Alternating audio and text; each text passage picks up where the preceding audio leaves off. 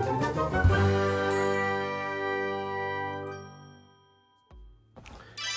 い。今日もやっていきます。今日はですね、バドミントンで勝つためのメンタルの鍛え方ですね。教えてくださいっていうようなのが来ててですね。まあ、精神的な精神論ですね。まあ、僕は、あんまりメンタル強い方じゃないと思うんで、はい。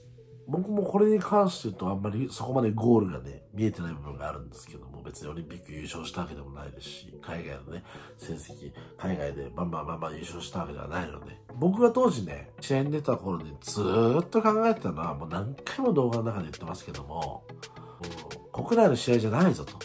海外の試合で、ね、国際大会でしっかり結果を残したいと。ね、だから、例えばですけど、全日本総合にも出なくてもいいんじゃないかみたいなね、あの動画も出したこと過去にあったと思うんですが、すごく難しいな。ちょっとね、難しい言い方になっちゃうと思うんですが、段階が1、2、3ってあった時に、ね、まだ実力が1しかありません。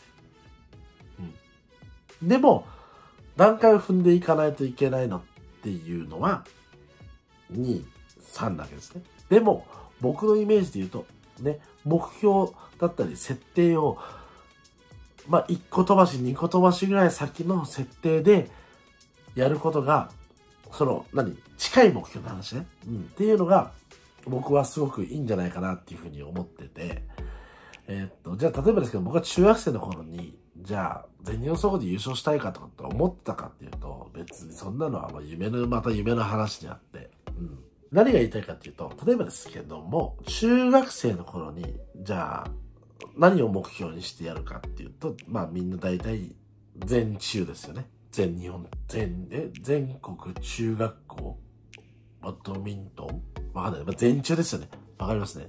中、全部の全、あの、中学生の中で、あの、日本一を決める大会ですね。全中。で、高校がインターハイになってくると思うんですけども、まあそうなってきた時にですね、ちょっと嫌味みたいにもしかして聞こえるかもしれませんが、全中を2年で優勝したんですよ。2年で。で、そういうね、段階をうまく踏めていった、もちろんね、自分が練習をしてたっていうのも、ちゃんと練習してたっていうのもあるんですけど、そういうのもいろいろ重なりまして、うん、2年生の段階でも優勝できたわけだから、じゃあ、一番ここで僕がやっちゃいけないなと思ったのは、じゃあ3年生になった時の目標は、いや、全中連覇することです。これ絶対ダメだと思ってて、僕は。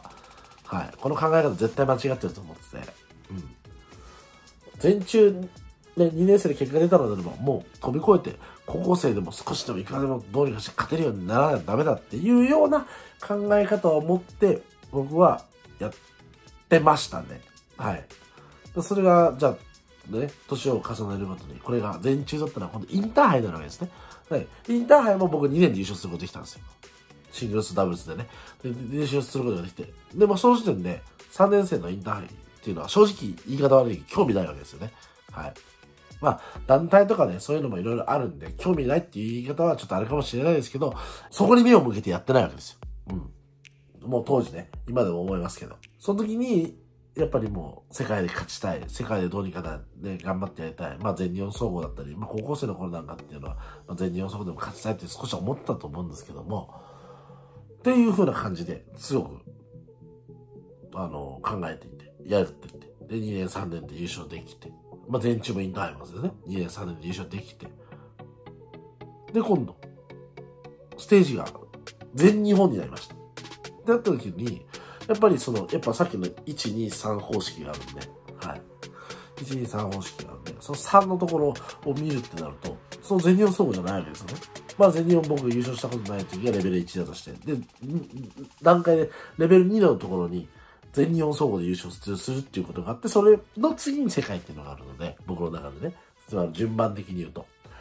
うん、でも僕が目指してるのはもうその先なんで、その3の方なので、うん。っていうような、変に勘違いじゃないですよ。勘違いしてそうやって言ってる子も多いですけど、うん。しっかりそれを自分で思い描きながら、それをしっかり自分で実行。で、それをできるためにはどうしないといけないかっていう逆算。うん。で、それをしっかり自分の中で自己分析をして、じゃあそれをするためにはどんな練習が必要で、どういう風にしないといけなくて。っていうのが、全日本総合を、えっ、と、目標にせず世界にっていう意識を持ってやっ、はん、本当にやることもやって、全日本総合は優勝できました。僕は。結局。っていうところまでは僕がやってきたことなので自信を持って言えます。なので、そういうやり方はいいんじゃないかなというふうに思いますね。はい。じゃあ、今度世界を目標にしてやってる選手は、さらに先、これどうやってやらないといけないんだってなってきた時に、そこはもう世界で勝ってる人に聞いてください。オリンピックで優勝してる人とかね。はい。に聞いてください。そこは僕はこうなんじゃないの、あんなんじゃないのって言ってもなかなか説得部分はないと思いますので。はい。なので、でも、大半の人が全日本総合優勝したことがない人です。大半の人がインターハイ全中優勝したことがない人がほとんどです。はい。で、これからそれを目指す人がいるのであれば、そういう意識でやってもらった方が、それに手が届きやすいと僕は思います。大きすぎる目標を持つのはいいです。でも、近すぎる目標の方の目標設定をするときに、本当に近すぎるんじゃなくて、一歩先ぐらいですね。見えてるけどまだ遠いな、みたいな。はい。